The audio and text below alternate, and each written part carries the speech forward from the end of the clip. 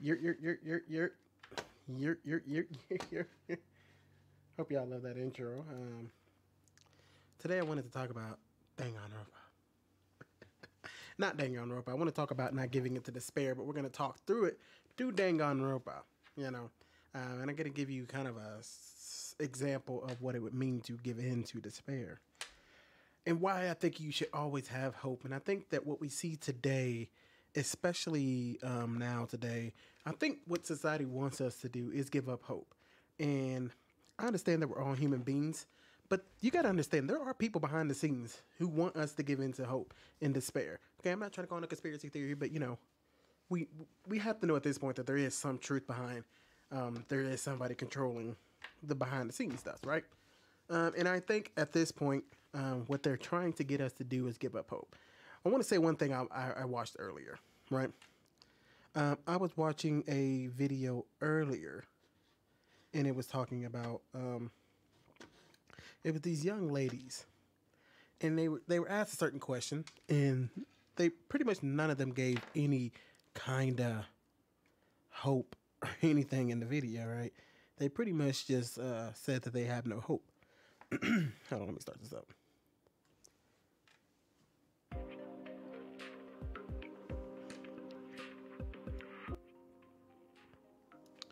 So pretty much they said that they had no hope. And it got me thinking. That's the point. They want us to believe that there is no hope in this world, that everything is going to go to ruin, as America's probably going to fall apart. The whole world's going to fall apart at some point. I think they do this. I don't, I don't know how they do it in other countries, but I can say here that they for sure got us to that point where we're starting to feel like we don't have any kind of hope. And it's sad to see. It, it really is sad to see. But I want to say this. And I'm going to give his story. You know, whether you believe or not, you know, just just just hear me out. Okay. First, I want to talk about Danganronpa. So, Danganronpa is a video game um, that talks a lot about um, hope and despair. That's pretty much the underlying thing between all of it. Pretty much, it, it tries to. Pretty much what happens in this world is they create a world where people feel like they have absolutely no hope. So they get these young teenagers in Danganronpa one and two, three, um, with the uh, the girls, Ultimate Despair Girls, I believe it's called, um, and then Danganronpa three, right? What they're pretty much trying to do is show the whole world all these teenagers, right? They put them in a situation and tell them, hey, the only way to get out of the situation, right? They get, let's say that they one one of them they got put on an island, the other one they were in a school. Okay, they erase their memories. That way, they have no basis or context to go off of anything, right? And so, pretty much, they try to prove to the world that if you put anyone in a place where they feel no hope, they will ultimately give into despair. And for these children, it's giving into you know taking each other's lives. So that's the ultimate despair that they're trying to convey to the entire world. And the world can see even the people who they thought that they could have the most hope in. These kids that went to this place called Hope Academy. They thought that these these kids that they could put their most hope in. They end up also falling into despair. And so this whole world is pretty so these kids giving into despair pretty much is what ensues chaos, right? Um, it's a long story, but nonetheless, do we not see that today? That if we we what they try to do is tear down every single piece of hope that you could possibly have whether that's hoping the uh, hoping the new generation, that's hoping the old generation, that's hoping people, that's hoping our identity, that's hoping our sexuality, that's, that's hoping all these things.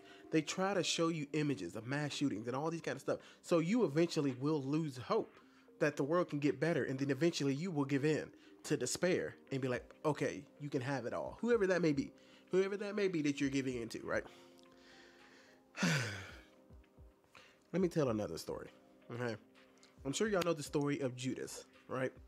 Judas is the one who betrayed Jesus Christ, right? Now, some people people think that when he gave Jesus over to the uh, Pharisees, right, and gave him over, that that is what ultimately did him in. No, it's not. Because he denied Jesus in that moment by giving him over, but so did Peter, who y'all remember denied Jesus three times, right?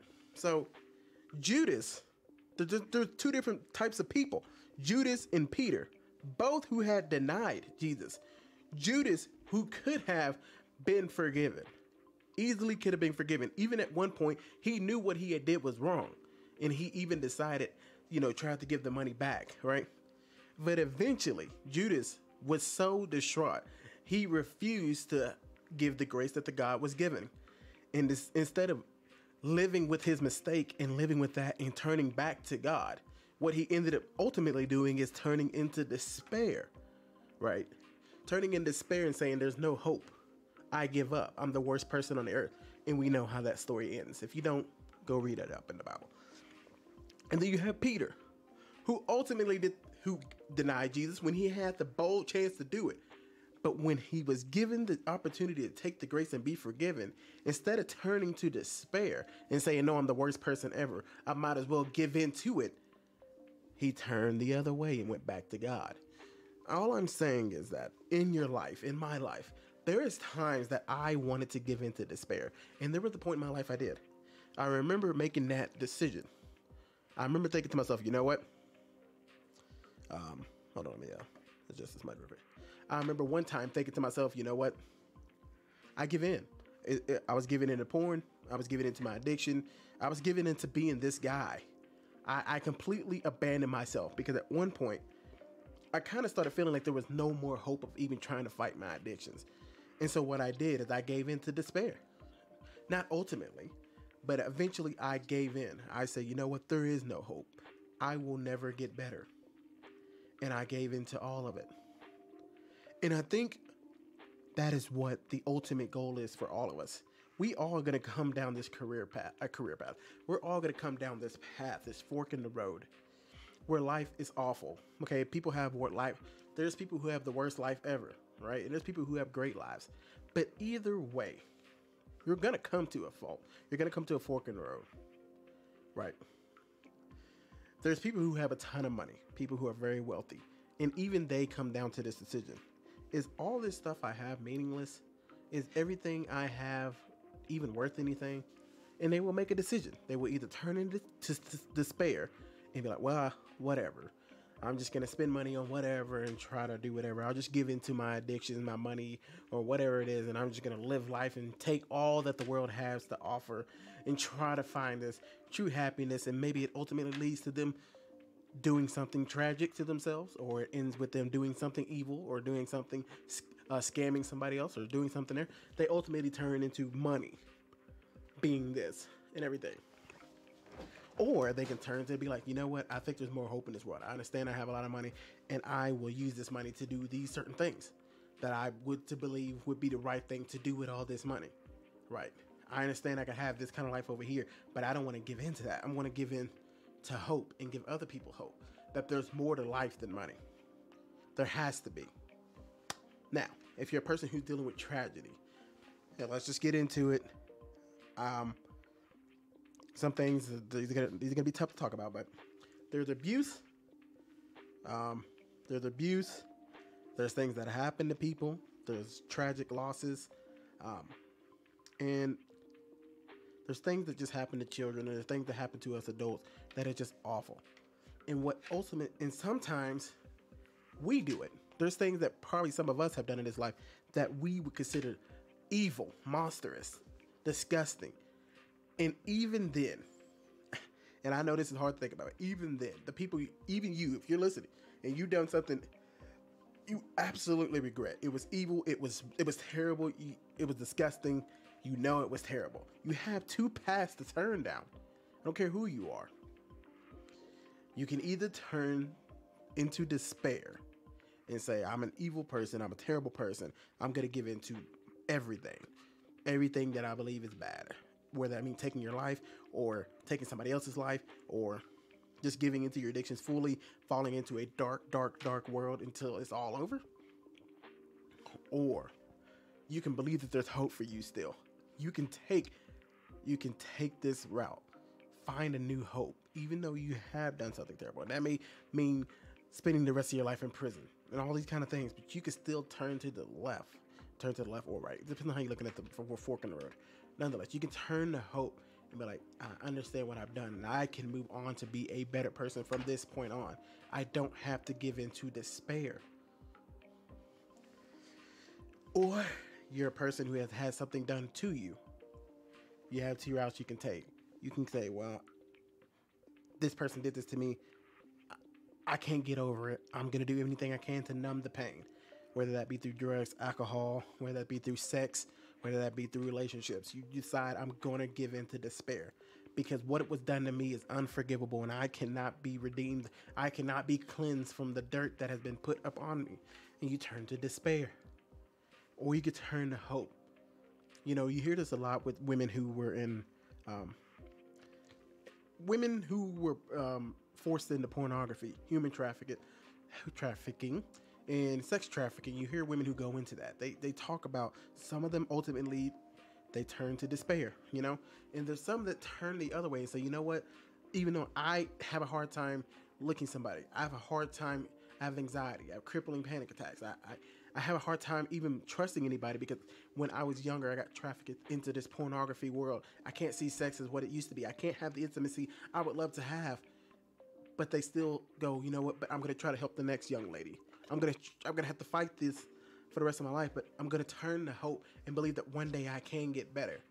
And those are the women you see in interviews. Not all of them do interviews, obviously, but those are some of the women you see in interviews, and those are the women who who can give you a new hope, saying that you don't have to die in this life of prostitution or being a stripper. For my men, you don't have to die in this life of being a gangbanger. You don't have to die in this life of being a drug addict. You don't have to die in this life of just being a person who is told from a young age that you're a monster or you're this or that. You don't have to turn into a world of violence. You can turn to the way of hope and believe that you can get out of that life instead of turning to despair. There is a point in the TV show, I mean, the TV show, this video game. And I'll tell you both, well, I'll spoil it if I. I'll spoil the game for you if I explain to you exactly how it ends. But let me just say this. In both instances, at the very end of the game, if you ever watch it, at the very end of the game, they, they're always going to be faced. Do they want to give in to despair? Do they want to give in to hope?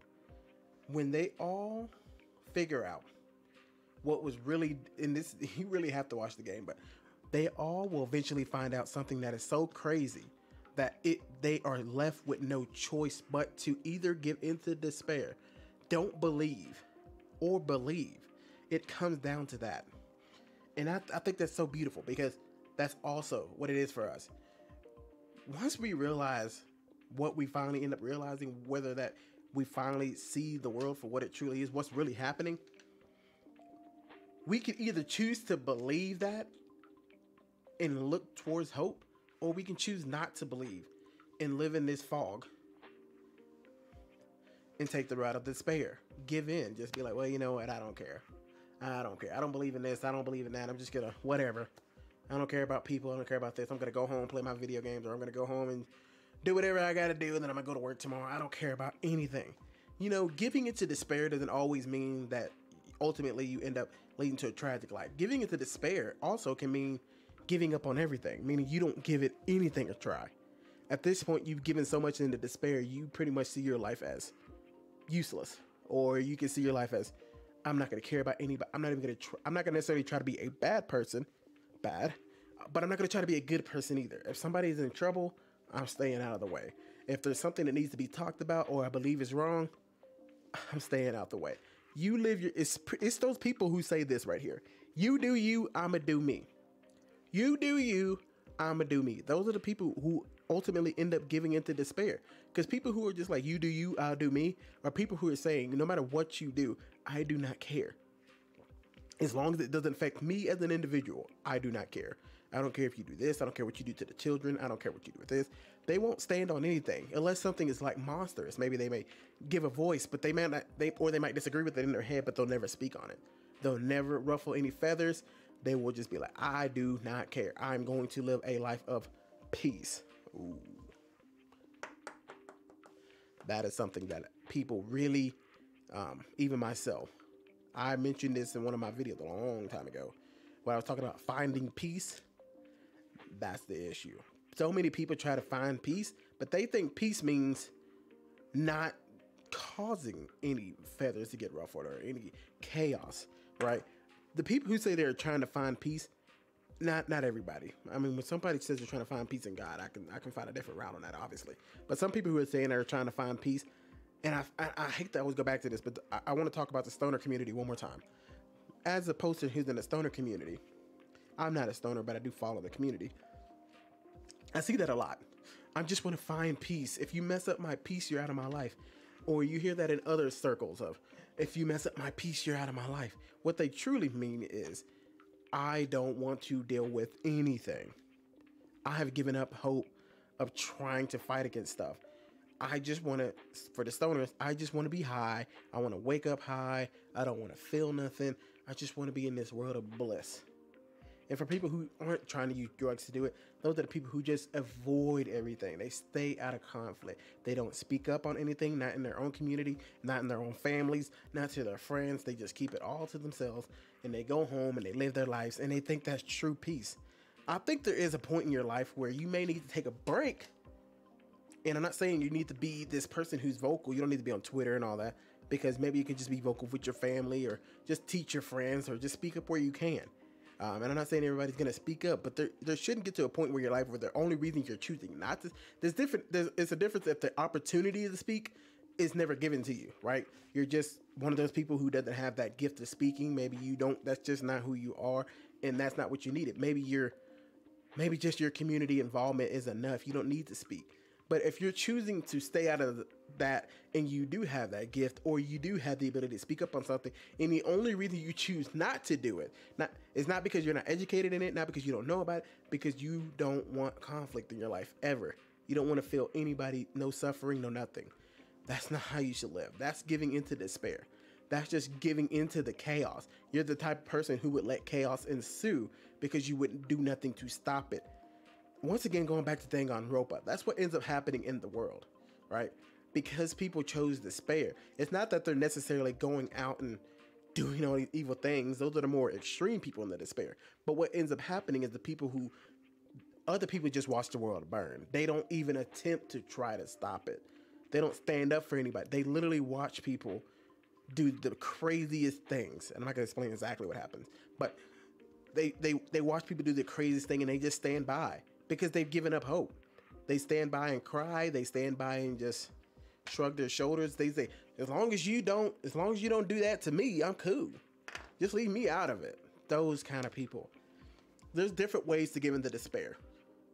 Whether that be not caring, not standing up for anything, watching chaos ensue, just thinking only about you, or ultimately going the tragic route, which may be giving ultimately into taking your own life, taking somebody else's life, or not accepting the grace that's been given to you. I just felt like I want to talk about that because I have come to those crossroads of wanting to give into despair. And when I tell you guys at the end of my streams, what I, what I, what I always say, like, hey, don't forget to pray for me, and um, I'll pray for you, you pray for me, because off this camera, I have issues too. It's the same thing. I don't want to give into despair. It is hard for me. I live in a place where there's not a lot of contact with people. It is very hard not to give in to, to spare. My wife, she she works at a place where she sees a lot of college students, right? You know, So she gets to see a lot of college students. She she gets to interact with a lot more people than I do. I don't get to. I, I work with children, so I don't really ever get to see a whole lot of adults. You know, so I mainly talk to myself or you guys, and it's hard not to give in to wanting to be exciting, have this exciting life, be in like living in a big city and um, getting to go bowling and doing this and doing that. So when you live in a place where all that stuff's not available, what do you want to give into? The internet, porn. You want to give into drugs. You just want something to give you something. And that's why I tell you guys, please pray for me because I ultimately myself I don't want to give into despair because it's hard. Not not to want to just give in to oh let me go get high again so I can feel something.